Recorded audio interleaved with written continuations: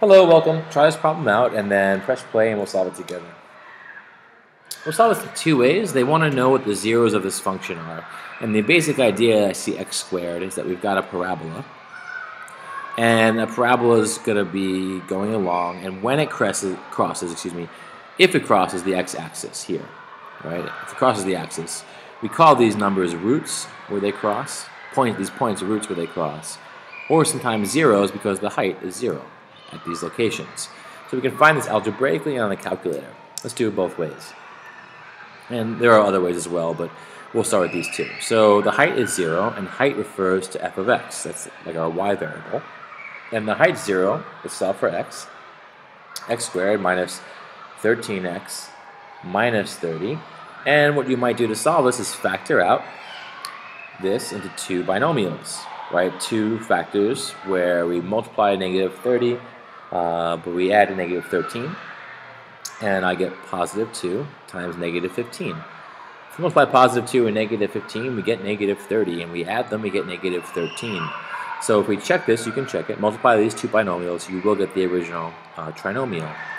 So now we have x plus 2, some number, this is a number, some value, times x minus 15, and that product is 0. So only way that can happen to get a product of 0 is if your first number, x plus 2 equals 0, or, and or, it could be both, x minus 15 is 0.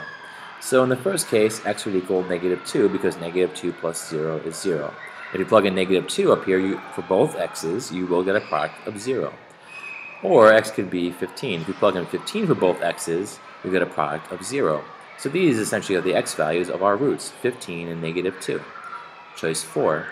Another way to approach this is to press the y equals button on your calculator, enter in x squared minus 13x minus 30, press the graph button. Now here I can't really see it uh, because uh, our y-intercept is at negative 30, this constant is negative 30, so I hit window. I want to change my y-min to negative, let's do negative 40. And my y max is at 100 from an earlier problem, so I'll just make it symmetrical. I'll pick 40. Let's see how that looks.